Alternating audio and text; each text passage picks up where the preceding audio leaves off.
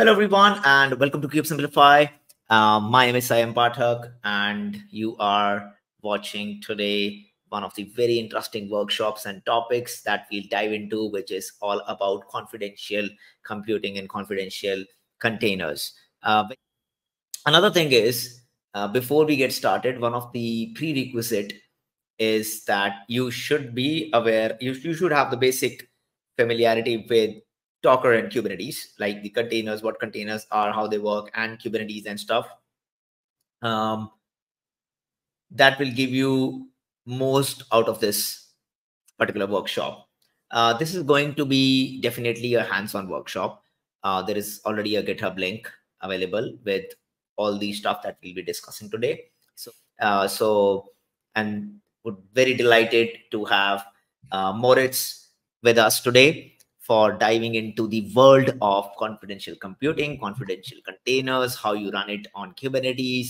Uh, he's currently working as a chief architect on the engineering side at Edgeless Systems. They are highly into the confidential computing uh, area, and his he has uh, like they have a lot in the confidential computing space. Obviously, uh, Moritz will cover a lot of things, a lot of different conferences, different organizations, um, the use cases. So, so what we'll do is, uh, before I let uh, Moritz introduce himself in a in a detailed way as well. Uh, so today's kind of agenda would be that we will be diving into confidential computers, confidential computing, the basics. So there'll be the basics like what it is, what the definition is, what the terminology means, because we have to dive in from scratch. Uh, so we are thinking we are only the only assumption is that you know containers and Kubernetes. Apart from it, the words, the jargons, um, the foundations, everything will be kind of covered. The hardware as well, like what all hardwares are available where you can actually do confidential computing. Um, what all cloud offerings are there where you get things out of the box um, as of today. And then we dive, we go the step further into the confidential containers, which is the COCO project. So we'll go into the confidential containers, uh, Kata containers, and then the runtime class operator, how to you know use the low level Kata containers, and then we'll be creating uh, Coco capable Kubernetes cluster. Now this is uh, definitely very very interesting because a Coco operator, a Coco capable Kubernetes cluster is something which will give you a deeper understanding and the practical use case of how things would work. And then in the end uh, would be uh, fairly new open source project to do this in an easy way, uh, which is deploy confidential containers with uh, contrast. So it is basically um, an easy way you can say to deploy and manage the confidential containers on Kubernetes. So that would be the kind of agenda. And um, I would like to introduce uh, Moritz. So Moritz, please feel free to give a detailed introduction. Happy to be here. Um, as you already said, uh, my name is Moritz. Um, yeah, I'm. Um, I have a technical background. I, I, studied computer science. I got very much into into security. Um, actually, a lot of like software binary binary security. Spent a fairly bit amount of my lifetime uh, playing capture the flag competitions. Maybe some of you are familiar with that. Um, so really, in this is offensive security.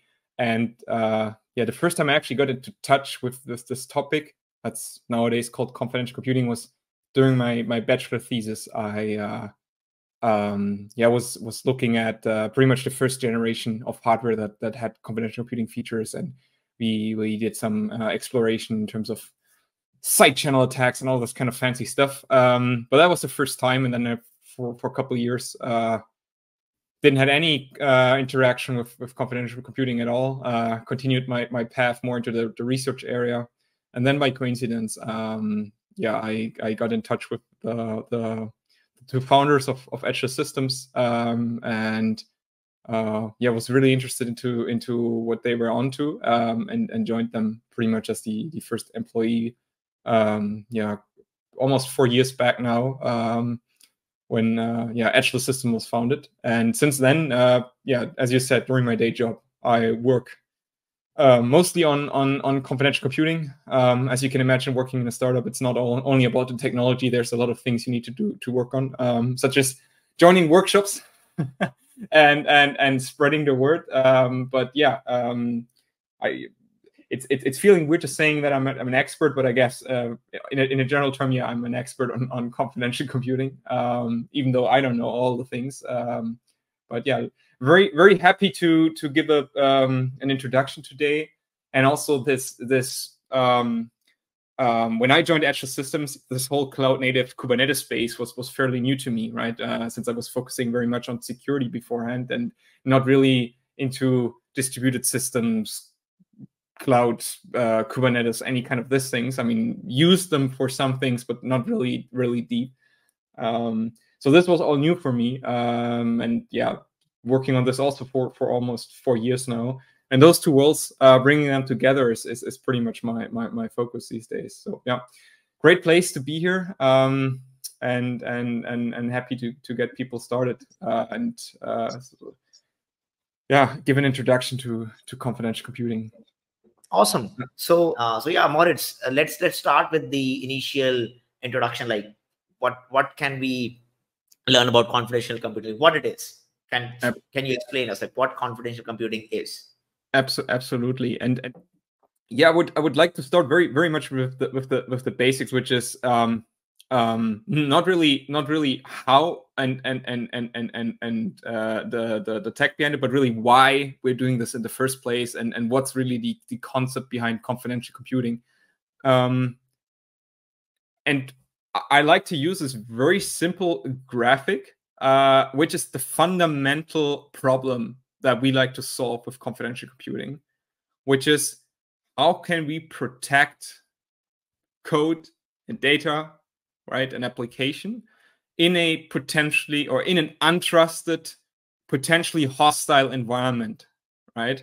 Um, and this untrusted environment, um, that could be anything, right? That could be the cloud, that could be some um, data center somewhere. Um, this could even be your own computer if uh, the software is not coming from you, but it's coming from some other party that ships that software to you, and it does want doesn't want you to to access the software. So this is a very abstract concept, but the idea is the same: that we want to protect an application from its surrounding environment, and this is a fairly, um, I would say, new concept in the sense that so far there were no really technical means to do so. Essentially, you could protect things while they're on the move right? If you send something over the network nowadays you can even join your your starbucks uh, wi-fi because you're using tls and you're encrypting all of the network connections.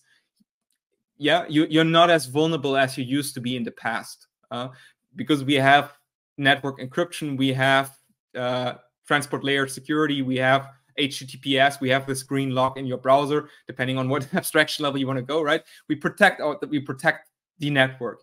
And we have the same for for for for, for storage. Um, if you have an iPhone, if you have any other kind of uh, Android phone, you probably have some form of encrypting the the the um, the, the integrated uh, storage in there so that even though somebody might physically have access to this phone if they don't if they're not able to break the authentication method, may, may be Face ID or your PIN code, they will not probably be able to, to, to access the data. But as soon as we are, uh, if we're talking about the the in use, right, the the uh, while things are running, if you have an application, um, you run it in the cloud or you run it on on your on your friend's computer, essentially there's nothing that protects you from this system having access to to your your application. This is the fundamental problem we'd like to solve. Can we do this? Can we do find a way to protect our stuff while uh, while it's in use while it's operating? That's the the, the really fundamental idea we, we're working with here. Um, and interestingly uh, initially what people had in mind um, when when they thought about this was not directly cloud i mean it was probably already on the radar but it was more for DRM, um, for um, protecting uh, things such as shipping a, a, game or a video or uh, like a movie, right, to your computer. How can we protect you from stealing that? Like, um, I'm not sure what the English term for this is. Like this, um, um, copyright infringement, I guess, right? Can we somehow protect stuff that we ship to you? That's that was part of the initial idea of, of building this technology, but somehow this really didn't didn't didn't um, um, lift off. And instead, people noticed, well, we can use this for something else, which is cloud computing. Because with cloud computing, we have precisely this problem that we have a potentially untrusted environment. We have some shared infrastructure that's owned by a third party, um, and that is used by millions of users in parallel, which might break out of their confinement and stuff. So we have a really untrusted environment. So there we can really change the trust model, and and um, this led to the idea that confidential computing is is, is defining uh, nowadays, because there are different ways of how we can achieve this. Uh, one is one is, and I listed this also part of the um, what part of our uh, README here. There are other solutions that go in, in a similar direction. One would be like homomorphic encryption or fully homomorphic encryption. Um, that's when you encrypt data and you actually operate on the encrypted data. Right. This is very interesting concept um, because as long as you can operate on encrypted data and you receive the same results once you decrypt them, um, there's really not much more you need to do since um, encrypted data is considered like being right anonymous and being uh, um, keeping the confidentiality of this data intact. Uh, if you are able to achieve this, uh, you don't need much more uh, in terms of protecting that data. Unfortunately, with homomorphic encryption, um, we yet haven't discovered algorithms or have developed algorithms that are performant enough right if you if you run an operation and you run it with fully homomorphic encryption it will be a thousand or more times slower than it would you run it in, in native speed which is not feasible um, for practical use cases so far but there are different ways you can achieve this right and and um, the idea of confidential computing is really can we create somewhat of a, like a, a safe space in the cloud as an example, right? It doesn't necessarily need to be cloud, but let's focus on this cloud use case for the workshop. Can we create somewhat of like a safe space in the cloud where we are isolated against the rest of the um, this whole infrastructure? And I think somebody recently made the analogy that um, the cloud is somewhat of like a, a, a, an apartment you you rent in a in a house um, where you do a contract with the owner um, or the landlord and you get a key and you have access to that to that apartment and your landlord probably also has a key to that apartment. And legally they are not allowed to enter this apartment um, and they probably won't and they probably shouldn't but they could right? And they could also be somebody that steals that key from them or they lose this key and somebody uses that key to access your apartment. Whereas with confidential computing we want to create more of like an embassy in a foreign country where right you have full control over who accesses your embassy and who doesn't. And there's no like landlord in this concept anymore. That's owning that property and you're just a a, a, a renter in that sense. I mean it's an analogy. It's probably not fully matches this picture but i think it gets you some idea of what the idea behind confidential computing is. And another aspect of confidential computing in terms in, in, in contrast to homomorphic encryption is that we want, want or we are solving this um, on a hardware level. So instead of finding an algorithmic, algorithmic way or a new type of encryption as we do with uh, homomorphic encryption, we extend the hardware that everything is based on. We extend this hardware to provide us with this safe space, with this embassy. And we do so um, uh, and now we get more into the, the, the practice and let, let uh, less in the theoretical space, is by um, extending the capabilities of our uh, processor, of our CPU, um, with additional instructions to create a um, an, an isolated and encrypted space for our applications. And depending on the language, this space is sometimes called a trusted execution environment, short TEE, or an enclave. I think you mentioned that term before, Sam. Um, whatever you want to call it, in this, in the end, um, it's an isolated space that the processor guarantees us that this space is is is is just for us and the application we want to run inside, and nothing else can access this this isolated space, right? And um, this already defines two properties of this, or three properties. One is it's it it it, it needs to have a, hardware trust anchor. It needs to be hardware based. Uh, at least that's um, how confidential computing is is defined uh, uh, these days, and I'll get to the definition in a second. Um, and that it ensures that this um, this confidential computing environment, this this enclave, right, whatever you want to call it, is encrypted. It's runtime encrypted, meaning there's encryption happening on the on the memory. Um, that it's isolated, meaning that nobody uh, can access uh, this this application while it's running inside the safe space. And the third property, and we will get into more details in, in a second because this is probably the most tricky part to wrap your head around, is that you can actually verify this from remote. So that me, as with my local laptop sitting here in my apartment, I can verify that this environment actually exists inside uh, the cloud, inside Microsoft Azure or Google Cloud or wherever, and that it's actually um, correctly um, implementing this other properties, and that it actually um, is running the code that I was expecting to be running there. So this form of remotely verifying, and this is then called remote attestation, um, is a is is is a very important and probably the most important feature of this, um, and probably also the, the the the toughest one to to really wrap your head around about the implications. So these three properties, right? Isolation, runtime encryption, and attestation, which are provided by hardware. Uh, in practice, meaning the processor has an extension. Usually, we call this an instruction set extension. Um, to have some additional commands, we can tell the processor please create me this environment, please load this application, and ensure that nothing else can access this application other um, or no other process can access this memory space of the application other than the application itself. And this, in very rough terms, is what we understand from confidential computing. And, the, and if you want to talk about the, um, the security model, what this ensures is the confidentiality and integrity of this application, its code, and its data um, during its its its lifetime while it's running. Um, let me go one step deeper into confidential computing. Um, when we talk about this, I, I, I, just explained this on a more conceptual point of view. Um, but if we actually talk about this in practice, and, and, and I said it has this this hardware aspect to it, so the hardware has these features um, um, I included some links about the actual hardware and the actual processors uh, or or um, um, uh, other other kind of processors that provide these these capabilities.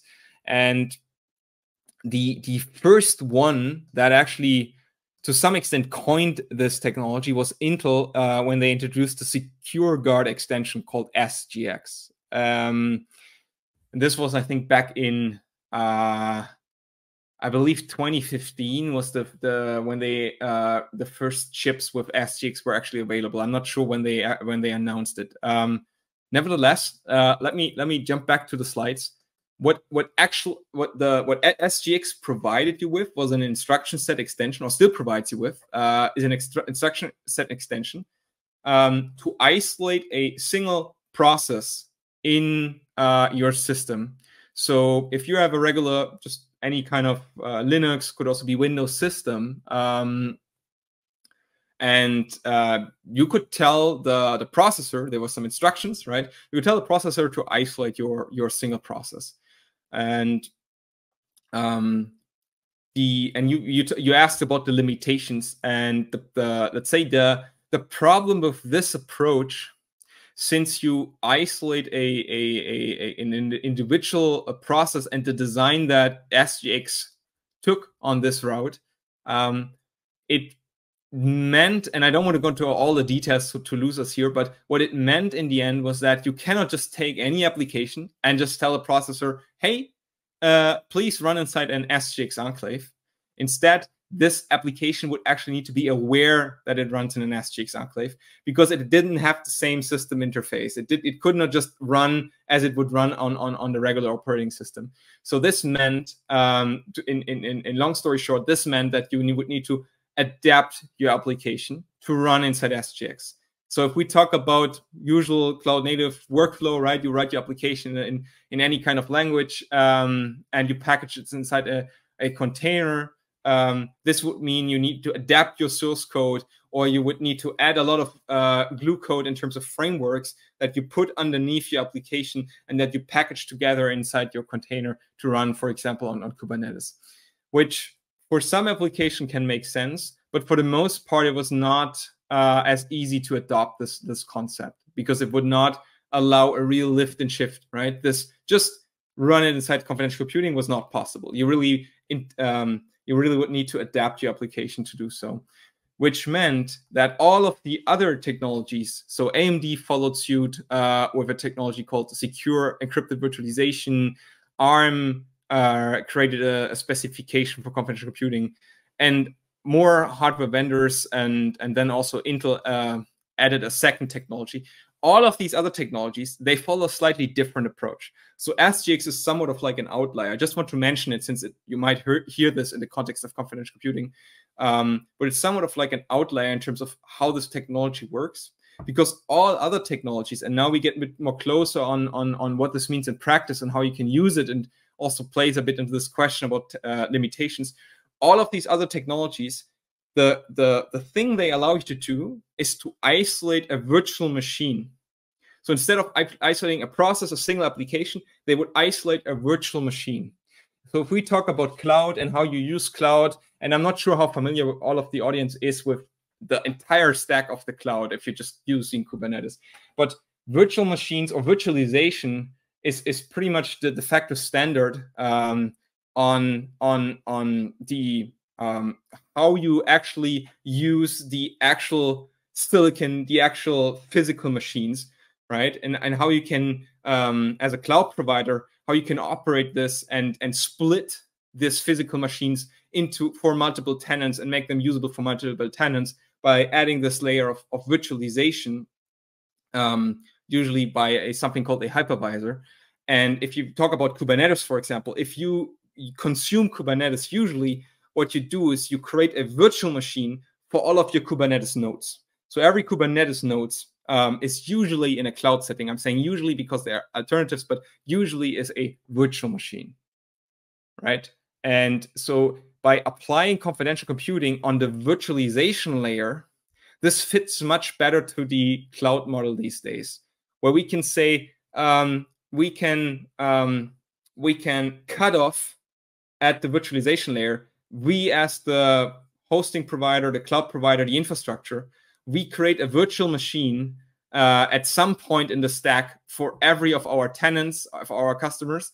We can isolate this virtual machine um, and we can um, keep this as the confidential computing environment. And sorry if this sounds very abstract. In, in practice, I think we will see this gets a bit more clear. But essentially, this allows us as the hosting provider, the cloud provider, to keep ourselves outside of the screen box and only the customer only the tenant is able to to uh, access uh, this confidential computing environment and if we have multiple tenants right we have a lot of confidential vms which are isolated on their own. So the, the individual tenants the individual cloud customers they cannot peek inside each other's confidential vm and they cannot if they break out of their confinement if they break out of this vm which is a virtual uh, privilege escalation in the cloud they would still not be able to access another tenant's vm because it's protected by the processor by the cpu um, as this in this picture as this green box. And this this is just the way of how we apply confidential computing so the same properties apply um, as I said before, which meaning the screen box is isolated, its memory pages are encrypted, and we can obtain a remote attestation report, meaning we can verify this uh, VM from remote. So for me, from my laptop, I can verify that Azure, GCP, AWS, whoever is my cloud provider, that they actually created this VM as a confidential VM, meaning that it's isolated and memory encrypted and that it's running the image, this VM image I was telling it to. So if I said, please run a Ubuntu 2004 uh, Linux system for me, I can verify that this actually booted and is running my Ubuntu 2004 system. and that nobody changed the the anything inside uh, my my image and uh, I don't know uh, added a backdoor or something. Yeah, again, I talked. Yeah, let's move ahead. Yeah, and uh, sorry again for, for doing a a, a, a, a bit of a, a jump before getting back to this this this part. Just as uh, now that we're speaking about, I think it, it makes sense. So now, as we've explained, right, this hardware needs to be available. It's provided by Intel, by AMD. If you buy one of their server CPUs, um, the latest generations, it will have this feature already baked in. Um, so it has those instructions that you can use to create confidential VMs. And then this needs to be enabled. Um, and this is usually not of our concern. Um, if you're a customer of, of, of uh, one of a cloud provider, um, they provide this virtualization layer. You usually don't care about it. So they need to make this accessible to you. Their hypervisors need to talk to the processor, providing you with this environment. This is it, and this is exactly what you what you do. And I link this down here. If you go to any, and I just link the hyperscalers. Uh, I don't want to um, discriminate any of the other cloud providers. They also have offerings, but I just limited this to to the three hyperscalers. Um, so just that you get an idea. Um, so if you go, for example, here to Azure, uh, they have a page on confidential computing. Um, which they have as an offering, right? They have their data centers, they have this hardware inside their data, this data centers. They enabled their virtualization layer to make this available to you, and then they provide offerings. Um, for example, um, confidential VMs, the concept I've just shown, right? It's a product, infrastructure, a service you can uh, just directly consume from from Azure, and the same goes for for GCP and AWS. They all have this this this notion of a confidential VM, um, and you find all the details in in in what you need to do to create a, a VM in there um, in as, as as part of of, of their offering. Um, so the the way you would use this right now that we understand the basics and the hardware foundations is usually if we talk about cloud and let's limit here to cloud um, is you go to your cloud provider and you will find, um, and let's also limit us to infrastructure as service at this point, you will find offerings to uh, create um, a virtual machine uh, with confidential computing or to create a Kubernetes cluster with uh, nodes, uh, Saiyam just mentioned GKE with confidential VMs as the Kubernetes nodes. So you can consume this as part of the, the, the offerings from the cloud provider. Um, so that's our, our foundation. Um, we haven't yet talked about now, how do I actually interact with this? How does this verification work? We'll get to this in a second. Um, just just one more thing because I jumped over this in between part. And initially, you mentioned this this workshop on on working on an AI cases. Um, what I've explained so far is, is, is, is just concerning the CPU. Now, recently, uh, the latest NVIDIA GPUs um, they have this they have similar properties. They have also properties for for isolating and um, um, uh, isolating the code and data on the GPU and providing uh, attestation to verify the GPU. And this is meant to be attached to a confidential, uh, to a CPU with this feature to extend this, right, this isolate environment, not only to the CPU part, but also the GPU part. And you can generalize this to more accelerators that are coming in this space. Um, and I linked this in the section here. Um, there's a section on the documentation NVIDIA and has on their on their um, on their confidential computing and some more information for the very technical audience if they want to really uh, dive deep in this how this connection between the processor and the gpu works how attestation works um, what kind of protocols are in generally uh, being developed to uh, extend this concept of confidential computing to uh, additional devices right? Um, so this section is just for you. I think this is a bit beyond the, the, the scope of this of this workshop um, but just for for the interested audience, um, you can follow along. And I think the takeaway for anybody is this is not limited to just processors or, or CPUs. Sorry. um, but this can also be extended to something like a GPU, so you can um, do uh, um, um, some of the AI and, and machine learning uh, use cases with this technology as well.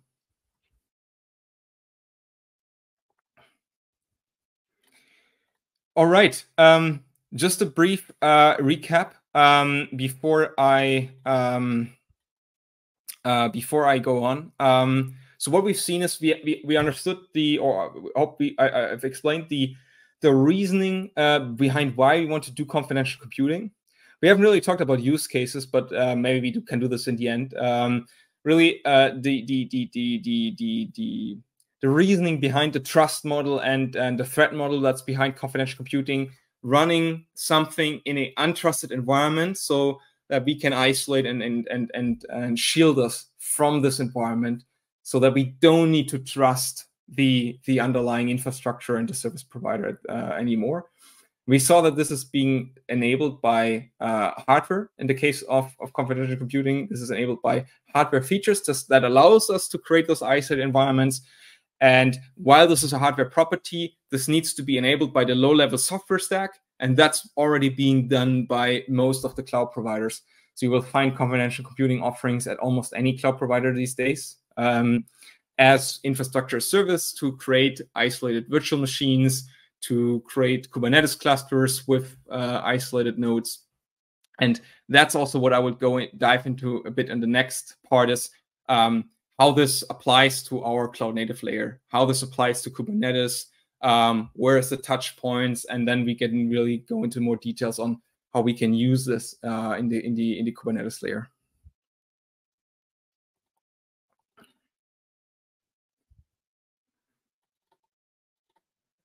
Um, we'll get into practice in a second. Just I think one more technical foundation we need to cover, just that you are on board and you know what's going on. Um, as I said, I want to explain a bit how this applies to, to Kubernetes. Um, and this picture, I think it's part of the prerequisites, right? That you have a basic understanding of, of Kubernetes and, and, and how it works. Um, this is just a reminder from a techno technology stack perspective.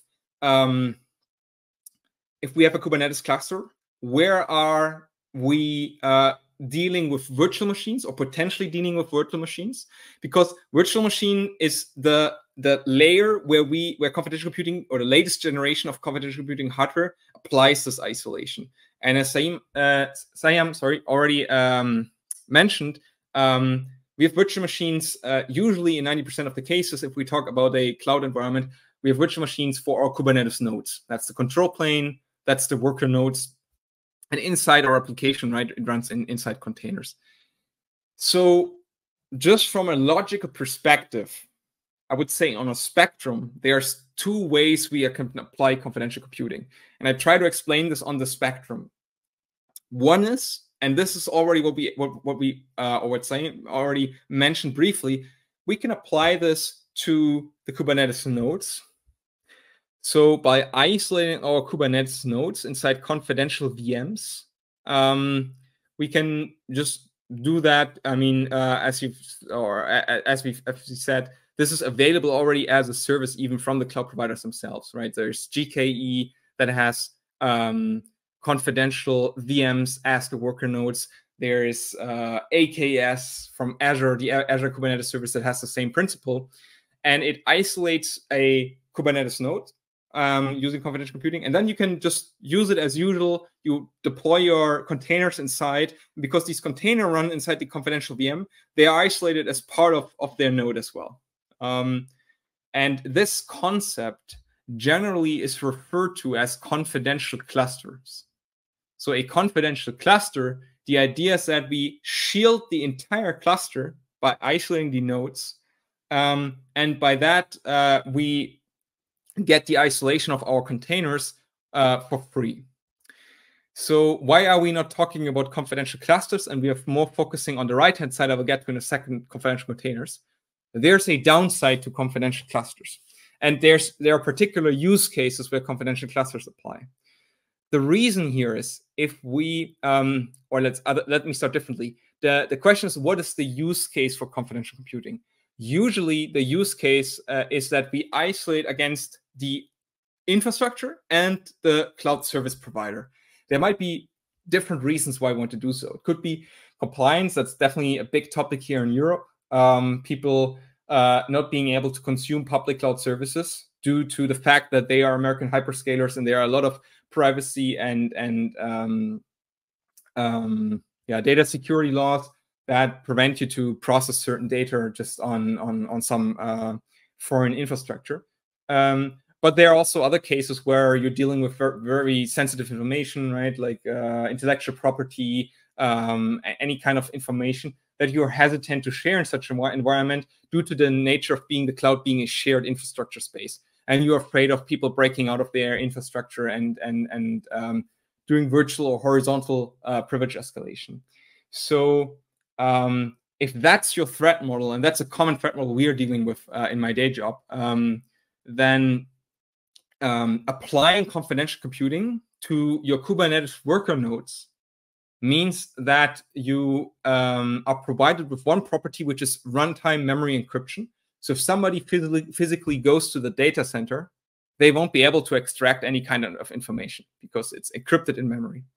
But if we talk about this isolation primitive, because the control plane of your cluster, and this is for GKE or AKS or any kind of this offering, they are managed by the cloud provider.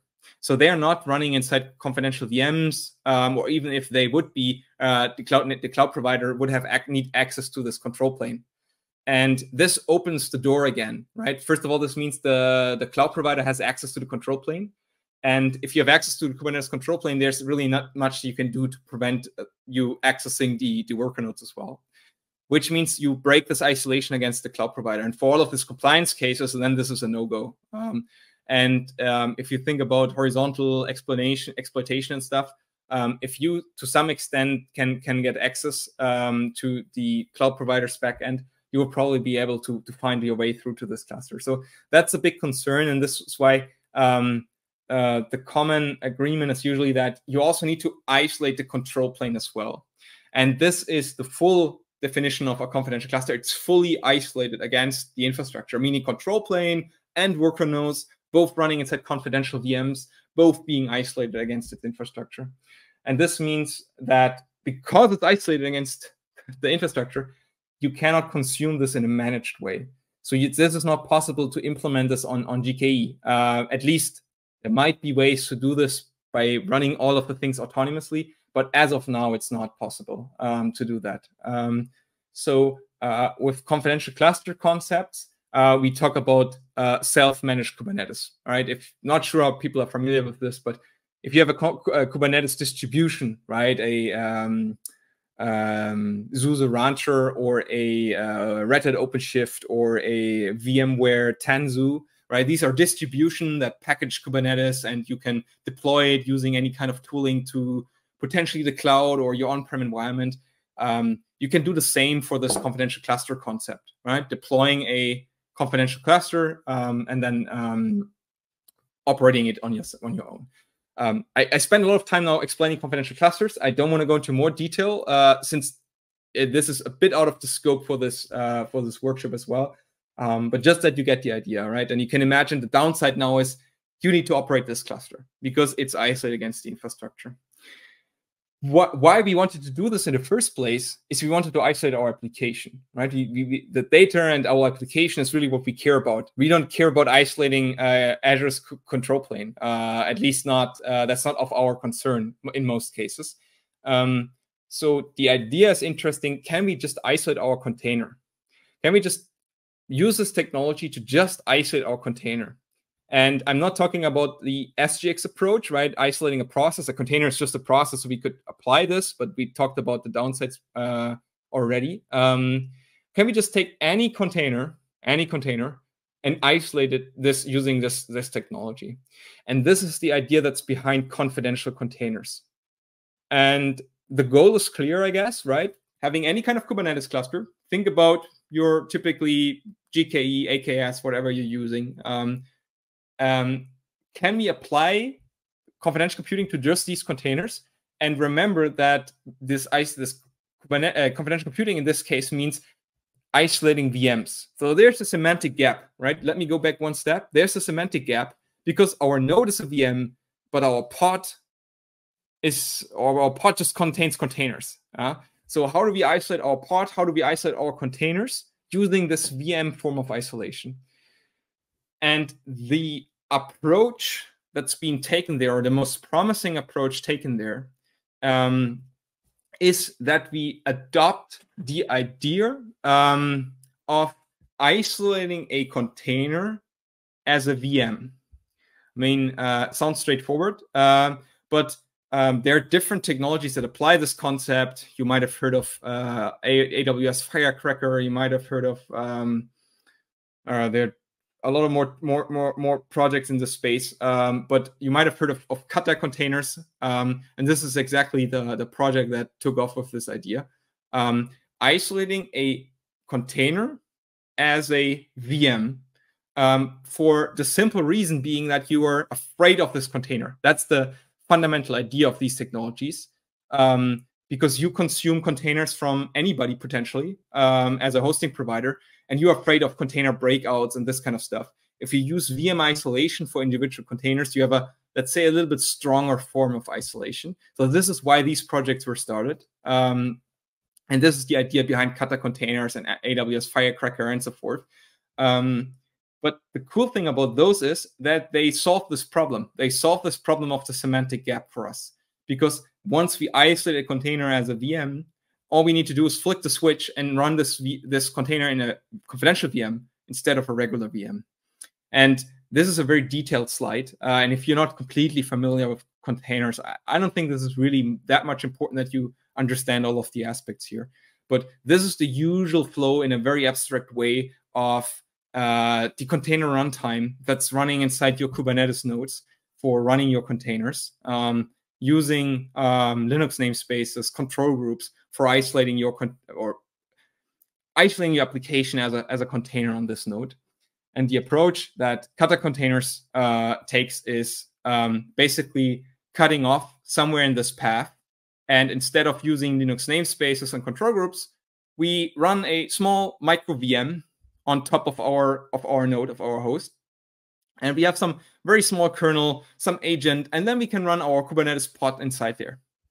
And I don't think we need to go into all the details. Um, if you have detailed questions, please please put them in the chat, or or we we can follow up on later.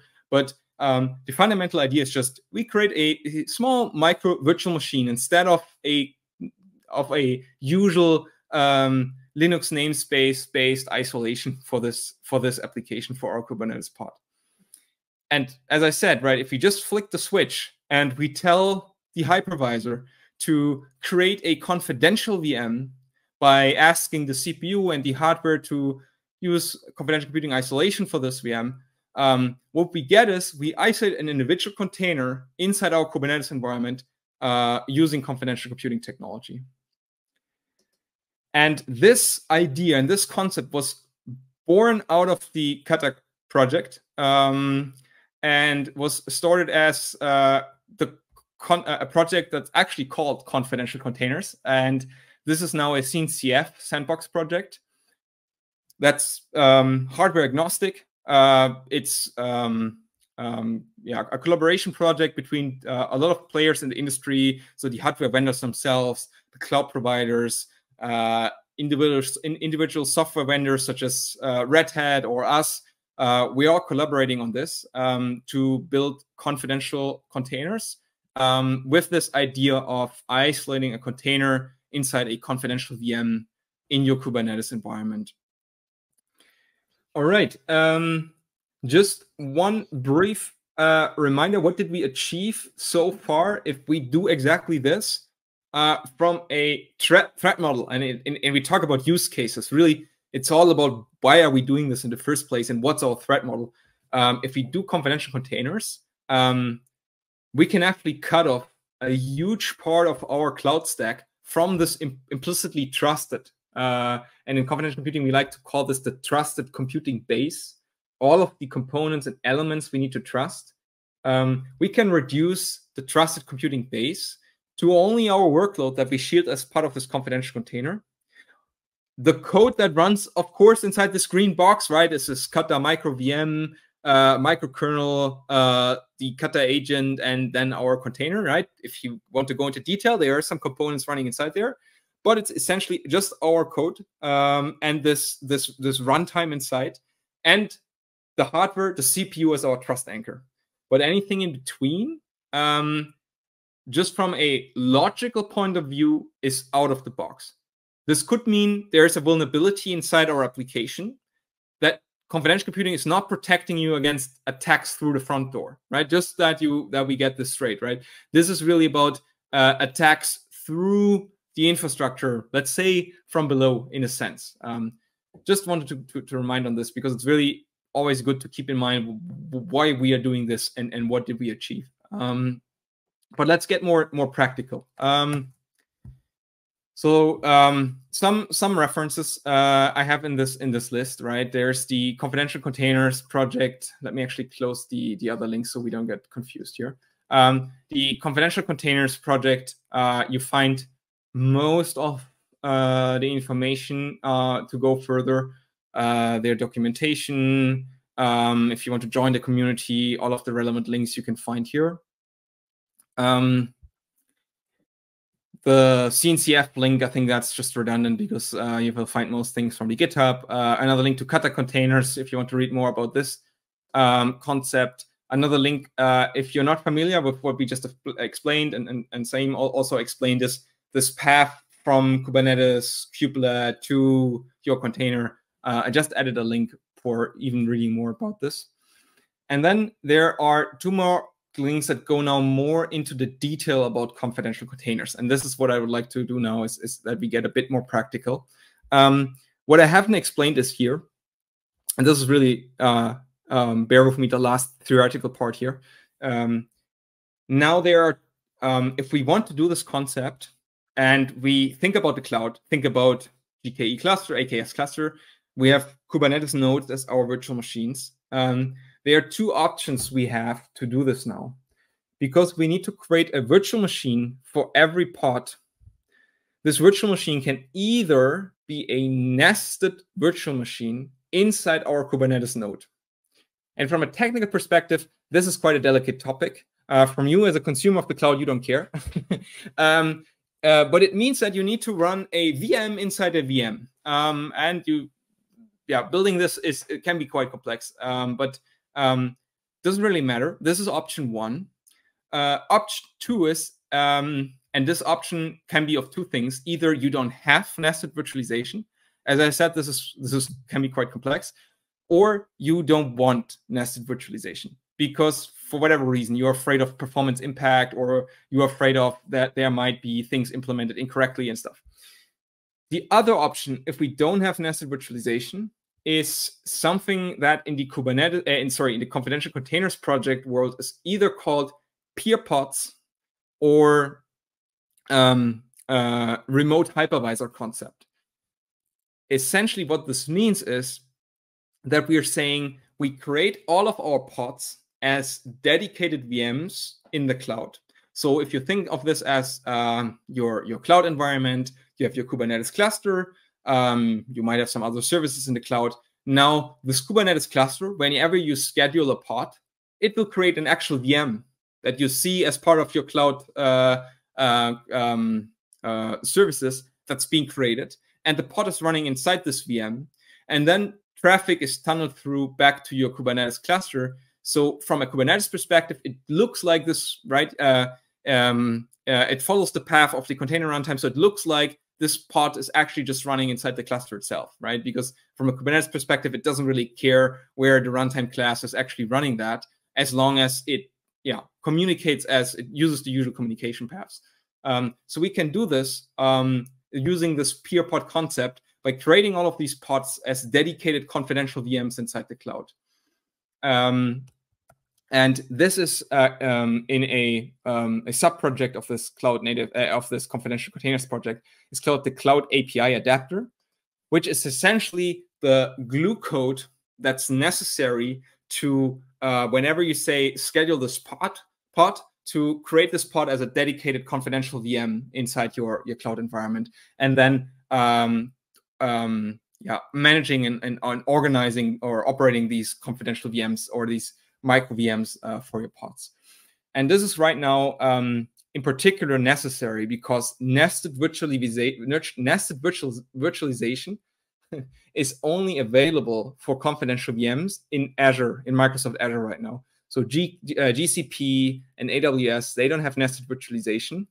Um, partially because um, the Linux uh, kernel, the um, uh, KVM hypervisor, so the Linux native hypervisor, does not have nested virtualization for uh, the processors. So that's uh, what I've shown earlier here, right? They don't have nested virtualization for either Intel TDX or AMD SEV right now.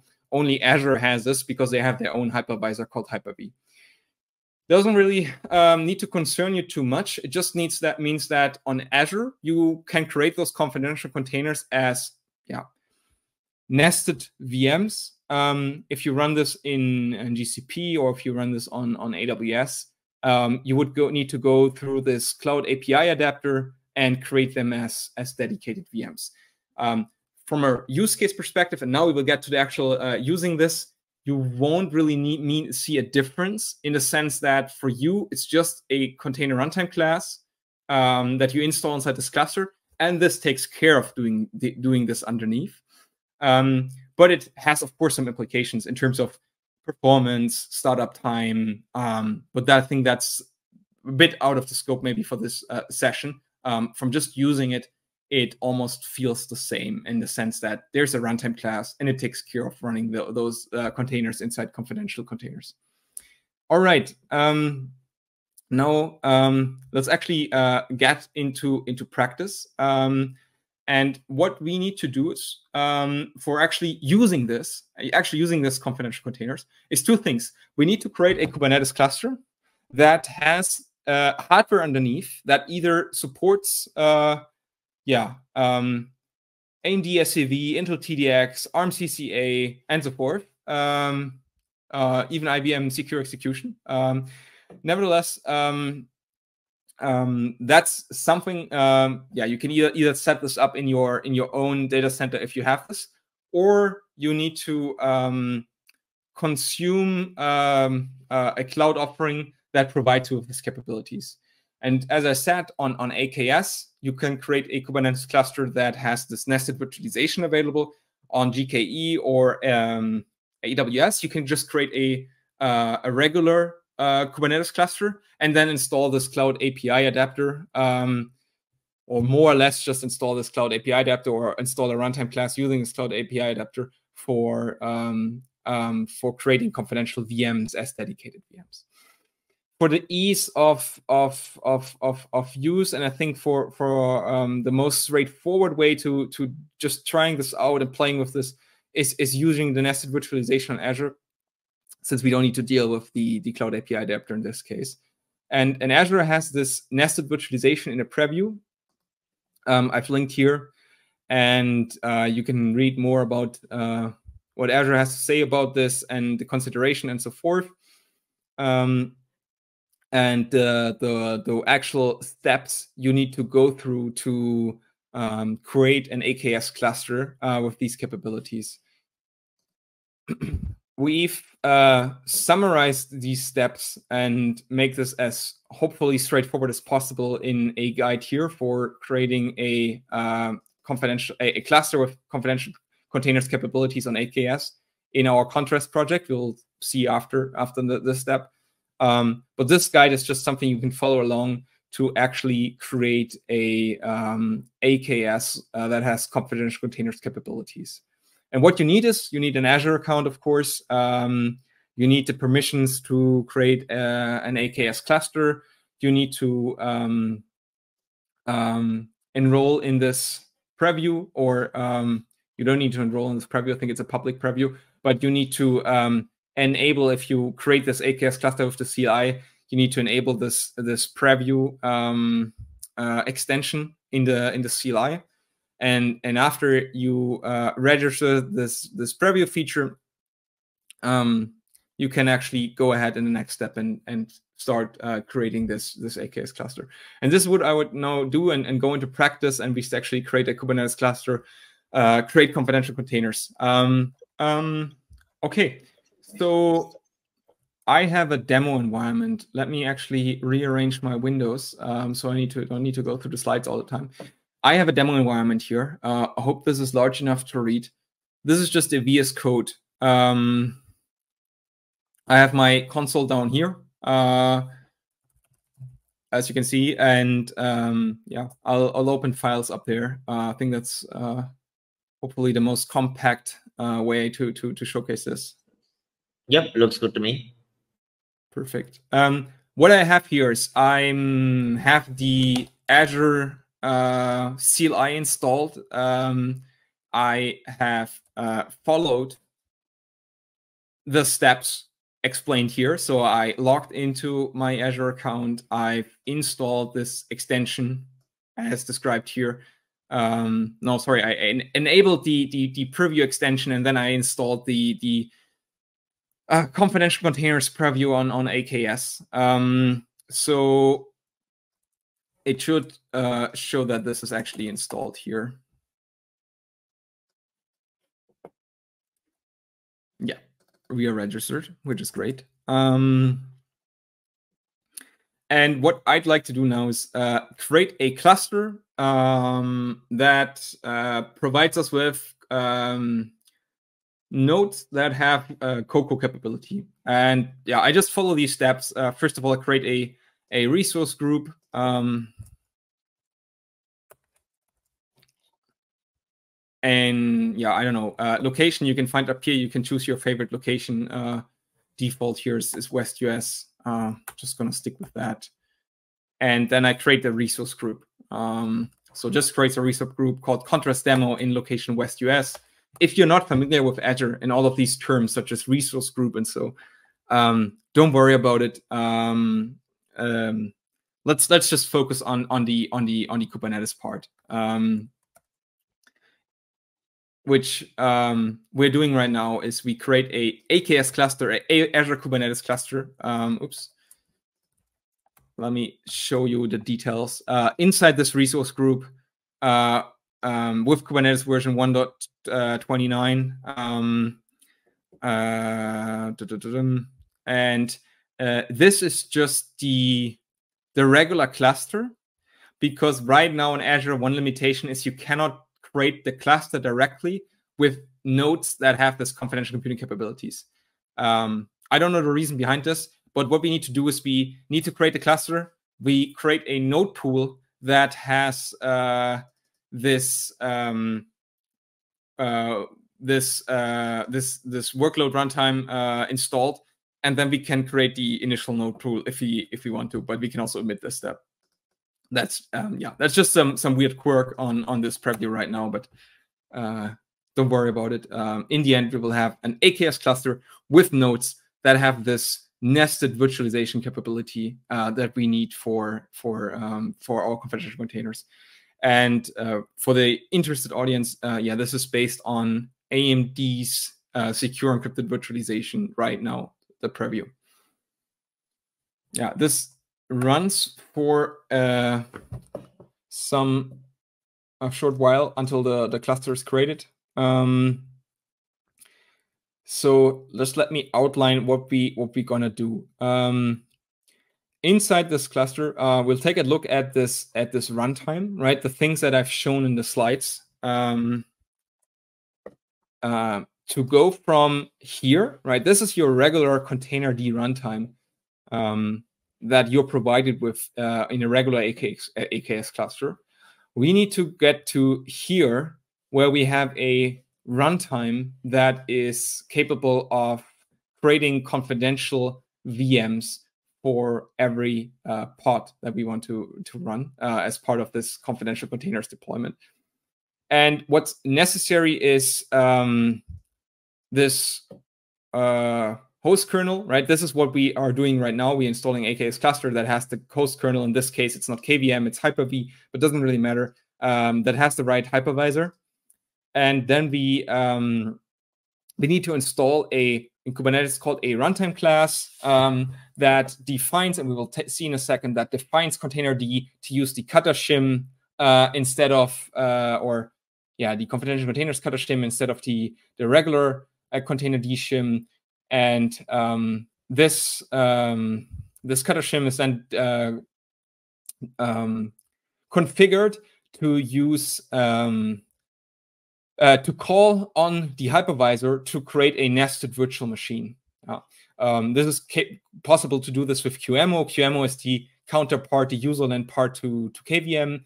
Um, on Azure Cloud Hypervisor, um, yeah, it's not a one-to-one mapping, but Cloud Hypervisor is, is, to some extent an alternative here to QEMU. Um, and, and Azure's Preview uses uh, Cloud Hypervisor to talk to Hyper-V.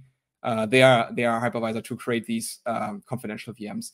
So uh, this component needs to be installed on the node, um, and we need to call this component and tell it to create a micro nested confidential VM using a um, pre-configured image. When I say image, I mean virtual machine image that contains a small kernel that contains some agent code, right, to communicate uh, to the outside world um, and communicate with the the um, the host and the the Kubernetes part, right, the kubelet and so forth.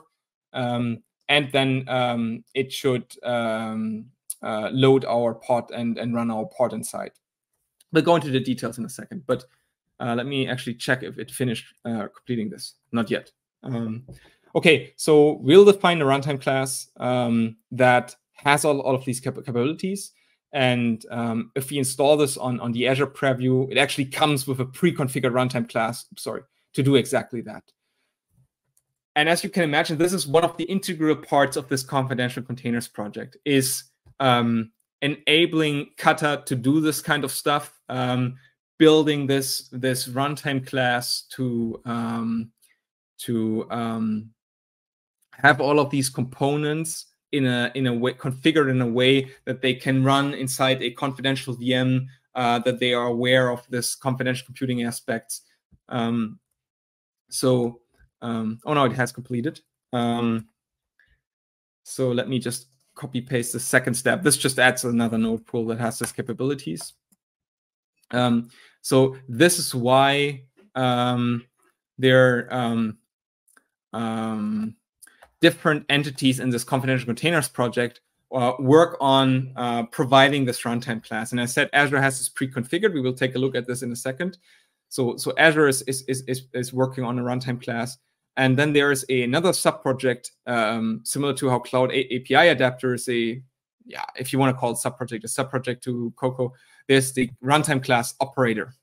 And this is a Kubernetes operator um, that's goal is to manage runtime classes for confidential containers, right? Um, so this defines a custom uh, resource definition um, for uh, managing and, and and and orchestrating these uh, confidential container runtime classes. Um, yeah, understanding these runtime classes has has uh, two problems. One, you need to be very familiar with all of this low-level stuff um, about containers and container runtimes and so forth. And the others, in our case, you need to also be familiar a lot of with this confidential computing aspects because there are a lot of um, little uh, tweaks and quirks uh, that need to work together um, to make um, this runtime class actually useful uh, for you. So this runtime class needs to be um, aware of the, the hardware underneath, right? It needs to uh, be able to instruct the hypervisor to correctly create a confidential VM on this uh, different hardwares like Intels, AMDs, and so forth. Um, it needs to do attestation. Uh, this is something we will talk in the last part of this of this uh, workshop um, when we actually talk about how to operate these confidential containers. So there are a lot of different little things. Um, so this is a very busy busy part of of the confidential containers project, and handling these runtime classes can be right quite complex, um, and therefore um, this uh, this operator was created. Um, oh no, it's finished. Perfect. And um, this is also why Azure has this pre-configured specifically for their setup, for their hypervisor um, and their virtualization stack to make this uh, more or less straightforward for you. Now we can go actually and see what, what, what Azure has pre-configured because our cluster is ready. Um, so let me jump into here.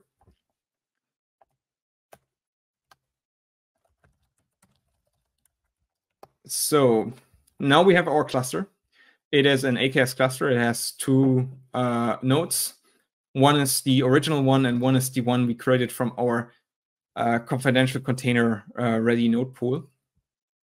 And um, let me actually show that there is already a runtime class installed. So this runtime class, um,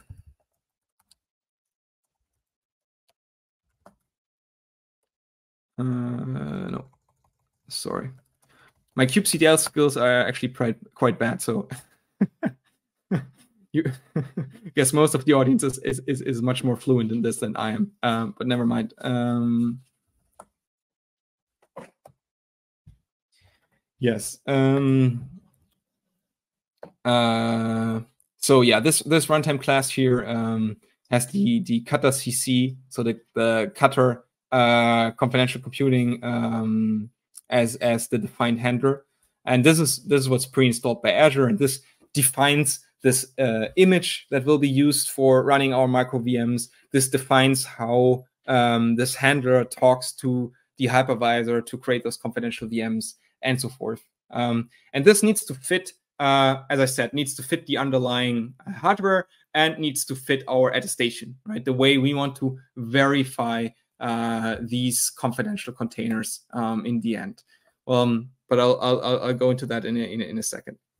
So what we can now do is, all right, we can use this runtime class potentially um, to create a uh, container definition, right? If you uh, do um, um, uh, create a YAML file for uh, creating a deployment. You can add your uh, your container or your pod to this deployment, and you can specify this as the the runtime class, and then um, the kubelet and and uh, all of the, the the flow in between will start this container inside a nested confidential virtual machine. So this is all we need to basically run any kind of container as a confidential container. Um, all of the magic I've explained beforehand uh, is pretty much hidden by, from you through this this runtime class and everything that that happens underneath. One more one more link on this runtime class. Um, this now dives a bit also into into into into contrast. Um, but uh, I don't want to go into, into into contrast just yet. Just about this this runtime class. Um, because we have some some documentation on um, the uh, the runtime class itself. Um, well, let me actually go into into. Uh, no, no, it's uh, it's better explained here, I guess. Right?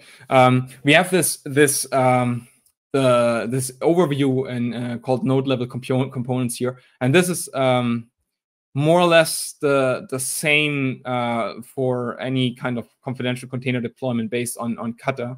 Um, so what you need on on all of the nodes, right, on your usual Kubernetes node where there's a kubelet and there's containerd and containerd shim and so forth.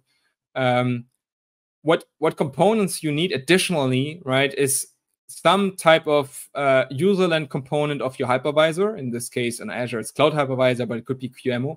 So this needs to be installed. Um, this image that's actually the image of those micro VMs that's need that needs to be available. Yeah, and this image contains um, a small agent that the the shim can talk to to for communication and stuff. Um, and this needs a component for pulling your container image. So this goes very much into the details of container runtime. So don't need to uh, maybe explain all of this in, in this scope here. But essentially, um, there are some components need to be installed, and um, usually you can do this with a daemon set that takes care of installing all of these components on every node uh, that you want to run confidential containers on. Um, and this is something um, that Azure uh, does underneath uh, when you install this uh, this feature flag. I install with this feature flag. Um, all right. Um, yes. As I said, all we need to do um, at this point is basically create a container uh, using defining this um, runtime class as the runtime class uh, we want to run this pod in. Um, not sure. Here's an example, right? Uh, if you were to replace this with, um, sorry, with kata cc isolation, right, at this runtime class name, um, this is what you would need to do. So last step before we can actually apply uh, an application um, is to do to go one little step back. Um, and I like to actually go to the slides just that you get the idea. Um, one thing that the confidential containers community next to this runtime class is most concerned with or is putting a lot of uh, effort into is the question um, let's assume we isolate all of our pods inside confidential containers. What, what we can do right now, just defining this runtime class, is um, our goal, our goal here, right, is to isolate our container, our workload from the underlying infrastructure, including the Kubernetes part, um, which includes the Kubernetes control plane, right? In, in our AKS cluster at this point, we don't even see this control plane. It's managed for us uh, and all of this stuff. So in the speak of confidential computing, this Kubernetes part is outside of our trusted computing base. It's outside of the components that are isolated and then we can verify and that we can trust. So a a a, a big part of um, um, the the things we need to take care of now is thinking about how can we keep our pod isolated uh, if the rest of this cluster, other than our runtime class, is basically untrusted. So to give you some ideas, because it's very abstract, if we now go ahead and we say um, um, kubectl apply on a YAML file that has this runtime class, it will create this pod inside this confidential container. Uh, all things are good. Um, if we add, uh, let's say, uh, in our run in our pod definition, we specify an image, right? We say please run nginx. How do we know that this pod actually runs nginx? It does not run nginx minus uh, Azure backdoor.com. Just random example. I don't want to bash Azure at this point. Just to give you a random example, right? Um, or, or, or a malicious container uh, uh, instead of nginx. How do we know that it does not run malicious container? If we specify a environment variable to say it should uh, um, um, I don't know, uh, use API key uh, X. How do we prevent this Kubernetes part, this API uh, server, uh, the kubelet, and all of these components? They are untrusted, right, in our sense. How do we uh, prevent them from stealing this information? Or how do we prevent somebody uh, that has access to the, the cloud infrastructure for doing kubectl exec and accessing our container? and then from there just doing whatever they want to and steal our data. Um, and how can one pod, let's say we have an Nginx web server front end, we have some business logic, they need to communicate with, with each other. How do we prevent somebody sitting on the network from intercepting these connections and stealing the data? Or somebody is just starting another pod, um, let's say uh, um, bad container again, and nginx wants to communicate with our business logic, but it communicates with this uh, malicious container instead. So what I'm going to say is, first of all, we need to protect and isolate our container from its surrounding environment so that the all of the instructions and all of the communications with the kubelet and all of the outside parts, how are they also um, limited to what we define as benign uh, operations? And how do we have a form of identity and authentication for these confidential containers so we can actually verify that this runs our nginx image and it not run some some other um, um, potentially malicious image and this is all based on essentially um, attestation on one part this attestation this verifiability aspect that we haven't really talked about yet and it's being based on um, um, the fact that we can isolate our container effectively from its surrounding environment. And um, there are um, two aspects to this. One is, of course, attestation. We need to do attestation. So we need to connect to our pod. We need to obtain this attestation statement from the hardware itself, right? This is what the CPU provides us with, is this signed statement saying, yes, this is actually a confidential container. And yes, it's actually running our image. This is one aspect.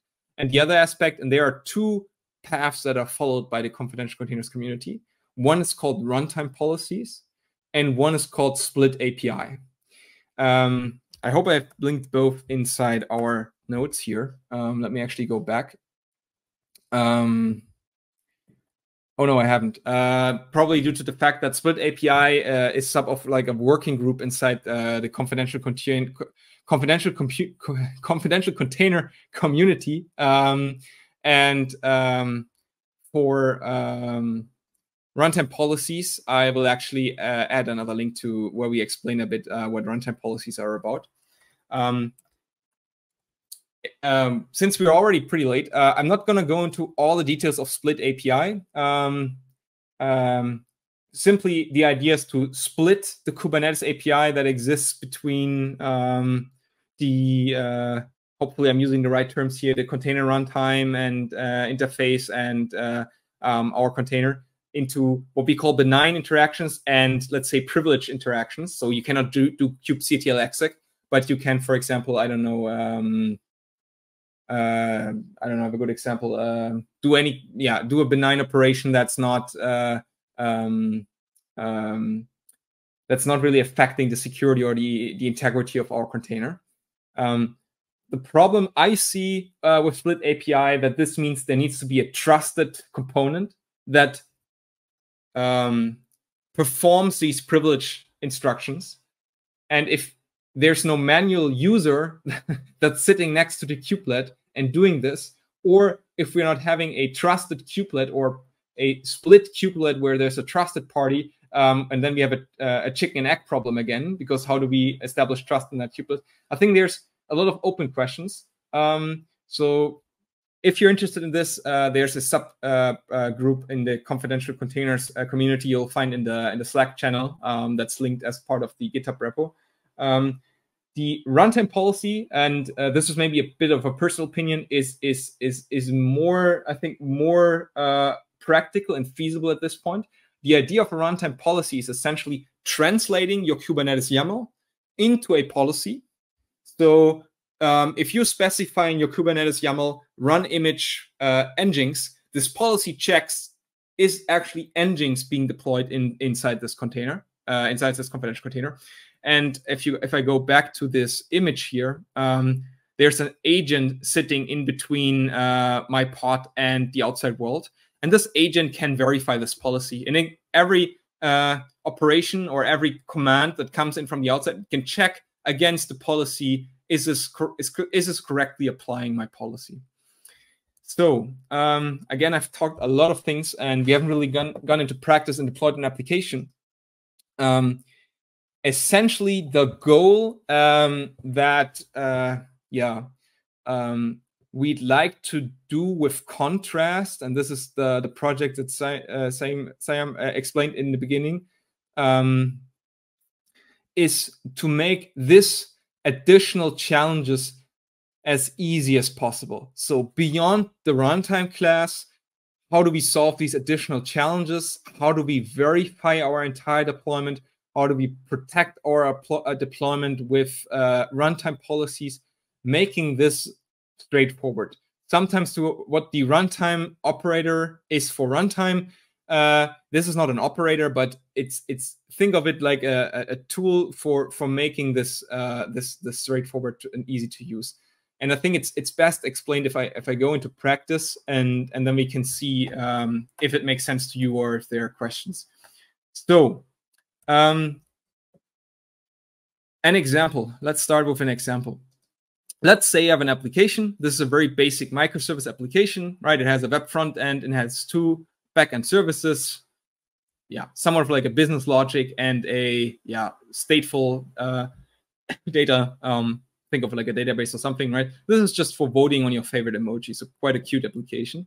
Um, how do we can we deploy this with confidential containers? And this uses the the contrast project to um, take care of this runtime policy part, take care of this attestation part, um, and um, the steps we need to follow to to actually deploy this and then verify this based on on runtime policies is essentially um, let me actually download the deployment first yeah this is just um, installing this deployment uh, downloading this deployment and this is just one big uh, YAML file where all of these deployments are. So this is the emoji service, there's the voting service, there's the web front end service, and so forth. Um, um, we actually install a, another confidential container runtime class. So similar to what Azure already did, uh, we install a um, another runtime class uh, that can uh, deal with these runtime policies um, and deal with the uh, the the the attestation aspects. Um, we can go into detail. I just want to do the practice first and then do the theory behind it. Um, so if I check now, we have two runtime classes. Um, one is the original uh, Azure one that was installed, and now we have a second runtime class that has a different handler. Um, but it works more or less the same as our uh, initial runtime class from, from Azure that we installed. So it has the same kind of concept behind it. um,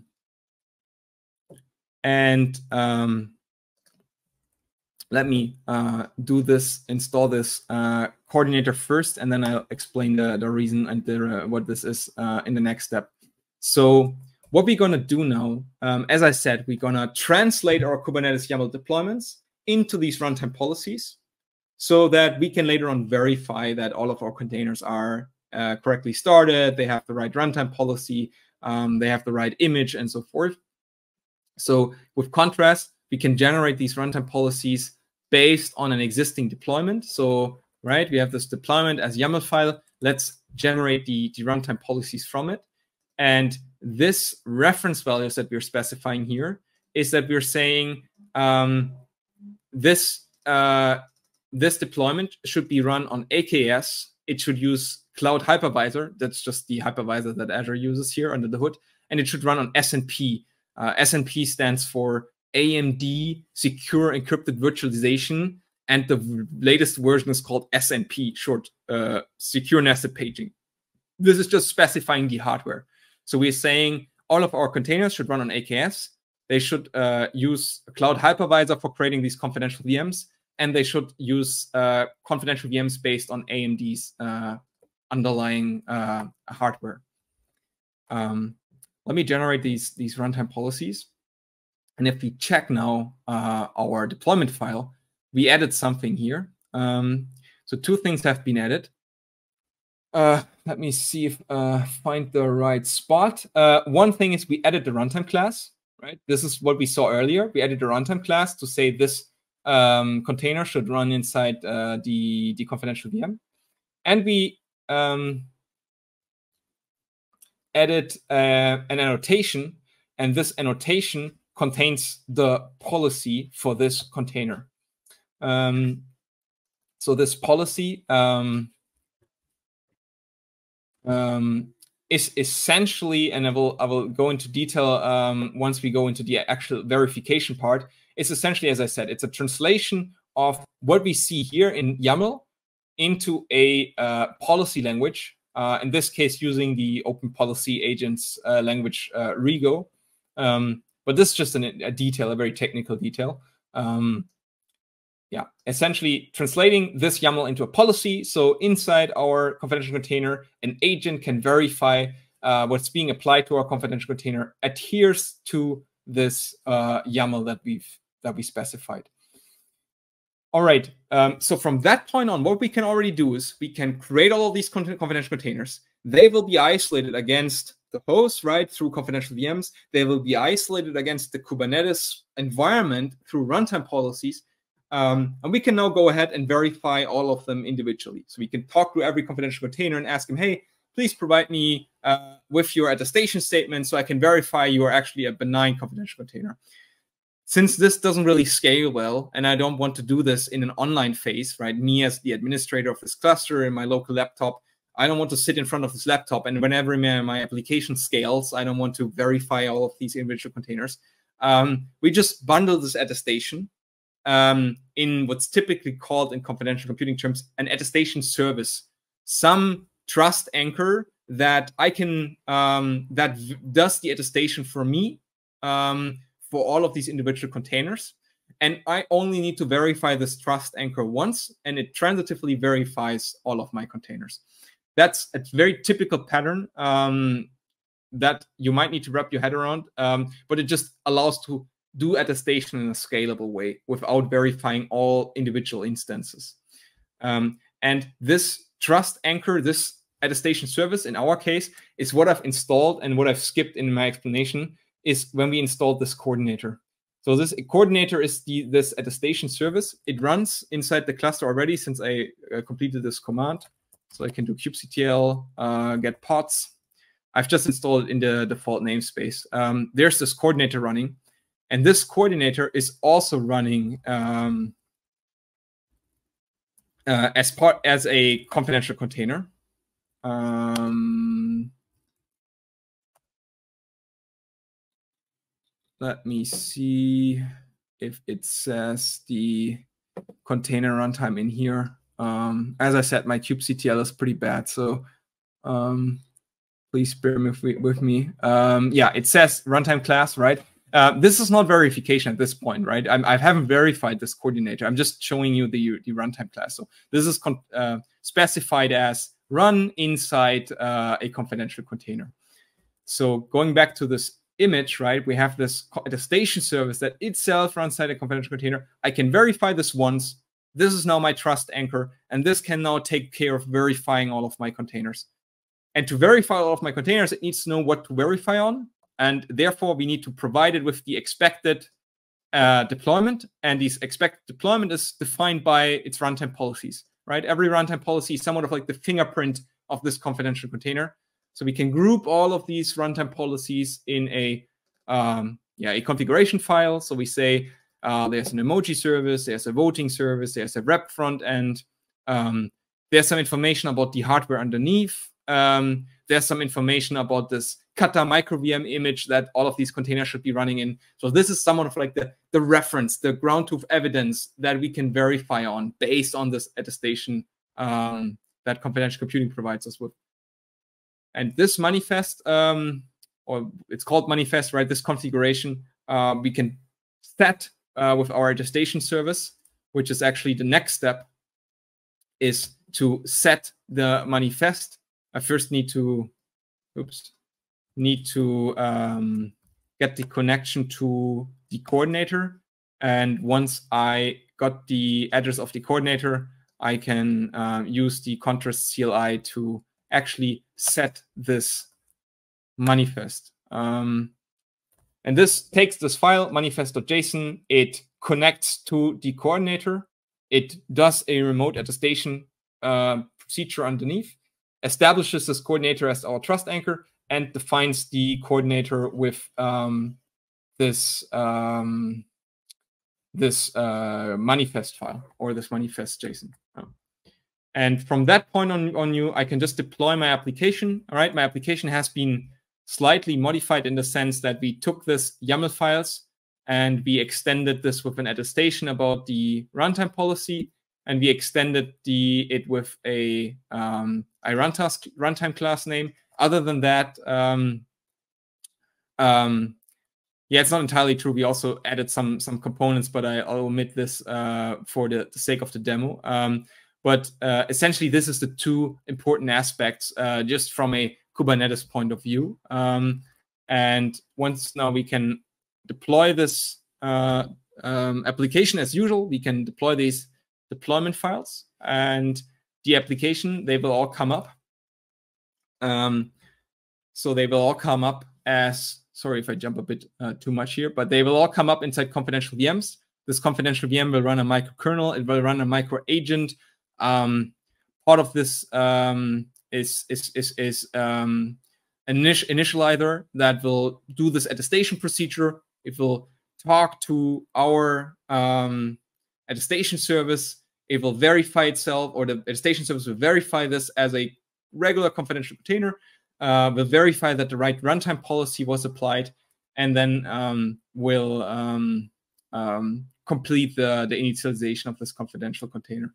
And if I check now, kubectl uh, get pods, um, I see now there's an emoji service running, there's a voting, uh, sorry, a voting service running and a, a web front end running, and all of them have been verified by this coordinator. So if I check the logs of the coordinator, I will see that uh, I set I was setting the manifest, and then um, there was uh, a bunch of services asking um, for uh, verification, and they have all been correctly verified uh, based on this on this manifest. And from a trust point of view, sorry to go once more back to the slides, uh, and, and as a summary, what we now achieved is that all of our services run inside confidential containers. All of them um, are isolated against the Kubernetes environment using this runtime policy. And all of them have been verified. So all of them have been verified that the correct image is running there, that they're indeed running inside a confidential container environment, and that this attestation service has verified them all uh, based on what I've configured uh, in my manifest. And I could still um, deploy the container as usual, right? I didn't do any modifications to the container itself. Um, I did some additions to this deployment files in the sense of specifying a, a runtime class and, and specifying this, this runtime policy used for verification. But other than that, it's just my usual YAML deployment. I could have also done this with a Helm chart or so, something like that. Um, all right, so this was pretty fast, uh, maybe too fast for, for some of you. So um, I guess uh, there are probably a lot of questions. Yeah. Uh, so one one thing is uh, you mentioned uh, sometime back, like when you are running the Kata containers, it mm-hmm. will automatically create a virtual machine and then sync back. So when you have you have created this deployment, did it create VMs in the Azure console? Um, it did not create uh, uh, dedicated VMs that I would see in my Azure console, if you if that's what you mean. Um, yes. Let me go to the Azure portal and go to um, my no that's the wrong one sorry. Uh kubernetes services contrast demo resource group contrast demo. Yeah that's my resource group. My resource group just consists of this aks cluster. It does not consist of multiple vms um, but the reason for that is that azure is capable of creating those um, Kata confidential VMs as nested VMs inside the nodes of this cluster, right? So if I go into this cluster, um, there are multiple nodes, uh, or there are at least these two nodes, and um, they are running these um, Kata VMs as nested virtual machines, which I don't see. And uh, and this this is automatic that is being done, but you said this is not possible in other uh, environments because of the uh, capabilities yeah. that Linux does not provide them to do the nested virtualization. Correct. And for that, there is a project that you mentioned, which was um, Cloud that's, API Adapter. Correct. Um, that's linked uh, in here, uh, Cloud API Adapter. Yeah, and if I would use Cloud API Adapter, I would actually see all of these um, all of these confidential VMs as dedicated VMs here. Ah, okay. Understood. Understood. Yeah. And for this particular thing, what you have done is so you uh, created a AKS cluster first, and then you added a node pool, another node pool with the runtime class specified. And that runtime class, uh, when it created, so Azure automatically took care of having the right hypervisor, uh, making sure it has Kata components installed, configured, and then connecting it back to the Kubernetes cluster so that it's ready to run the um, confidential containers. Um, then you discussed all the problems in the current ecosystem where you have the node which is there, but you still have components like the Kube API server, which is from the control plane. It is able to communicate with the kubelet. Uh, so there is still access because the whole idea when we started the confidential compare co- computing stuff is to isolate the communication from uh, the outside world. But in this particular case, the non-isolated workloads are still able to communicate in the isolated VM that was created. So there is being there is work being done in that uh, sense in the working group on new methodologies like the split API and um, and things like that, uh, which is in progress. How to do it in a more efficient manner and how to test out stuff, uh, whether this is running as the confidential containers or not, and then the uh, policies that you applied, and then coming to the contrast. So contrast works uh, as of now only with the AKS, and contrast is uh, contrast lets you create those create the policies attach those policies uh, verify those attestations uh, so that it can know that this particular the the container that is running is the actual one that you're running. And when you when what i mean by creating the policies is it it takes up the manifest use opa uh, policies and create the annotations and then add those annotations back to the deployment and then you deploy the application. And when you're deploying it checks uh, the stateful set uh, checks the annotation from the deployment and checks whether it's you know uh, the correct stuff that is being deployed onto the cluster. Uh, the example that you gave you know the uh, nginx or the malware nginx. So it is deploying the right uh, image and the right things and then it deploys. No change done as such on the application side of things. So application side of things and the container images remains the same. Only changes being done is the uh, way we create the VMs using natively like this, or uh, there is a CoCo operator as well that you can use if you are if you want to configure on your own the or you are doing it on a self-managed kind of cluster or you want to manually connect it and do some stuff some fun stuff uh, the hard way kind of thing you can do the CoCo operator. Um, and internally i i don't know if Azure might be using CoCo operator internally to kind of you know spin up things or making it work and stuff like that. But yeah you can use the uh, CoCo operator as well to configure the things. Yeah perfect summary again. Yeah i was just trying to understand if i am correct in this particular scenario. No uh, yeah and I'm, I'm, I'm, impressed. You you do these summaries really uh, on point. Uh, i'm really glad you do those. Uh, yeah this this helps because i don't want you know uh, if i'm able to understand and if i'm not able to understand so it would give audience the gist okay yes this is how this is going and this is what should have been understood and what should have been communicated. If there is a gap then yes you correct me okay no this this is not what i was mm, what i meant but it was the other way around. Another question is um, on the kubelet side of things and on the um, kubernetes component side of things mm-hmm. um, when I, I still i'm trying to understand but not not fully uh, you know understood that part.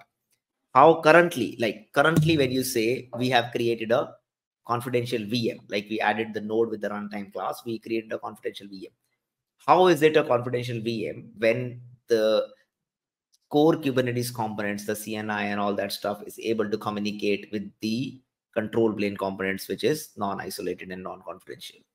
Yes. Um very good aspect uh, because um, that really needs to, needs needs needs to be clear. Um, so this Kubernetes cluster here, this AKS cluster, contrast demo cluster, um, it's Kubernetes nodes. They are just general VMs, no confidential computing involved so far. Um, so uh, all of the, um, the the Kubernetes node itself and the the components inside, like the kubelet or on the on the control plane side, the API server, they are not isolated or protected or, any, or anything other than the usual things. So Azure potentially has full access to to any of this. Um, let me go back to the slides. Um, so this is our world in this case, right? So that's our node. That's our AKS uh, Kubernetes node. Um, red here means um, untrusted in the sense there's no confidential computing involved. The uh, where, where we apply confidential computing is that we create these uh, pods, only the pods inside confidential kata VMs. So only the kata VM for the pod is a confidential VM, um, uh, meaning that um, the components that, I, that are not shown here, right, the kubelet, the containerd, runtime, and so forth, um, they're all untrusted. Their only job is to create this pod VM, if you want to call it like that, uh, as a confidential VM. Um, and then in here, this is the the trusted world. Anything that runs inside this pod VM is the is a trusted world. And if I go into the details, right, in this trusted world, uh, what's running is a small microkernel that's just necessary because we're running inside the VM. Um, um, some some some agent code, as you correctly uh, ex uh, just explained, is communicating um, with the kubelet and the outside world and and it our container image uh, essentially. Um, so yeah, um, this is really essential. Only our container is is is inside, and only this green box is is what's being protected and isolated. And this is why we need to do, um, or why I try to explain the necessity for um, doing this uh, runtime policy stuff, because we need to have a sort of isolation or sort of protection between us and the untrusted Kubernetes node and the untrusted kubelet and the untrusted um, uh, yeah kata shim uh, that's outside of the of the green box here. Awesome, understood. Yeah, I think now it makes complete sense. Um, and um, yeah, to, just because this is a something I observed in the past a lot is um, this notion of verification, since this is something fairly, mm, um, yeah, that's not something that's commonly or a very common thing in, in, in let's say in the, the, in the security world. Um, and it's a fairly unique feature to confidential computing. It, it, it usually takes a bit of time to to wrap your head around. Um, so if just there's somebody sitting and, and, and wondering why are we doing all of this shenanigans? Um, this attestation part is really essential for most use cases, since most use cases are saying um, you cannot run this in the cloud, um, or I don't want to run this in the cloud because I don't trust the infrastructure, or because compliance or whatever is telling me no, no, you need to have this uh, in your on-prem environment.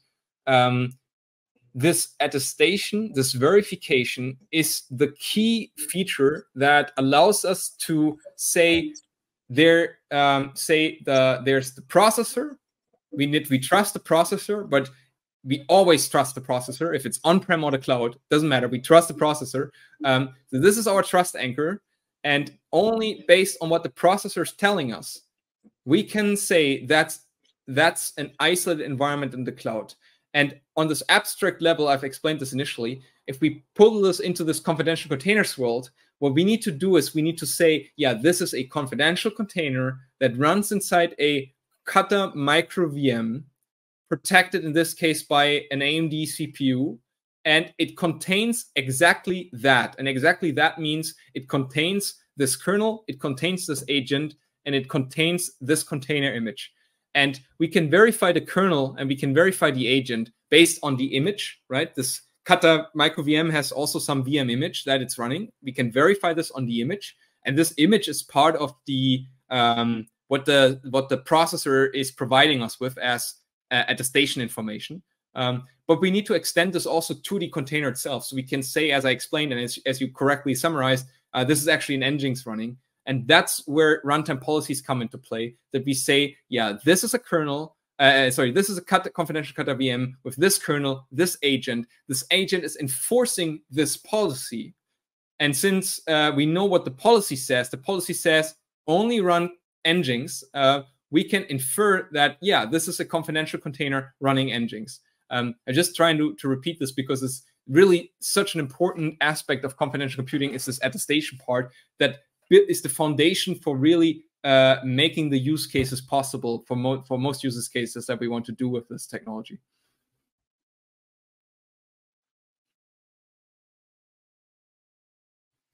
Awesome.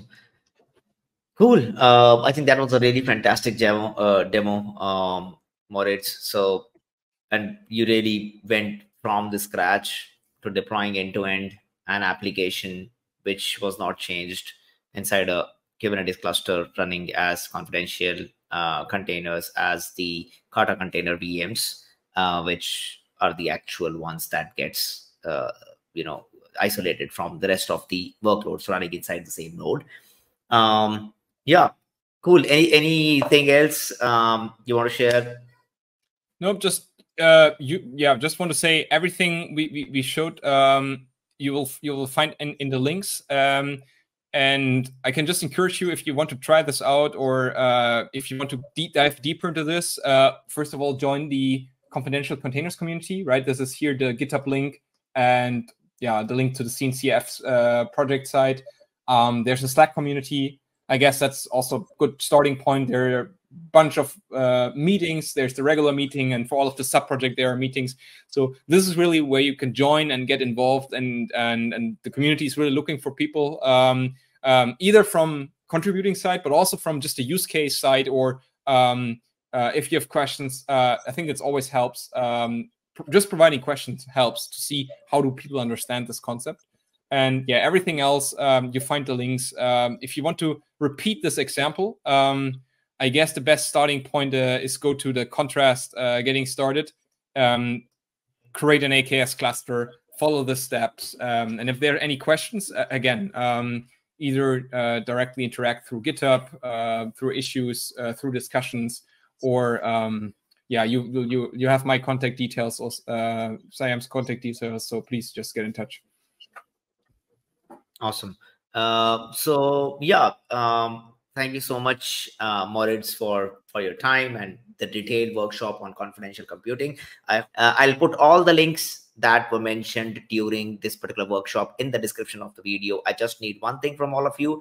Uh, if you have learned something from the workshop, do tag uh, Moritz and follow Moritz and uh, share your learnings like what you learned in form of blogs in form of tweets in form of twitter thread in form of linkedin post uh, in form of expos, in form of comments on on youtube whatever and wherever you feel like doing it just tag uh, him and Kubesimplify um, and what you learned from this particular workshop and try out confidential computing uh, although it's not new but it's picking up pace very fast now uh, so I think it's very right time to get involved in the communities if you want to come uh, contribute as well. So yes, and one last thing, obviously, make sure to subscribe to Kubesimplify so that I can keep bringing these amazing workshops uh, to you uh, and share it within your network. The replay will be available as soon as I end the stream. So uh, feel free to share the stream uh, with you, within your networks and also with your learnings. that's pretty much it. Um, thank you so much for watching and see you in the next workshop some other time. Thank you all. Bye. Thank you so much for having me.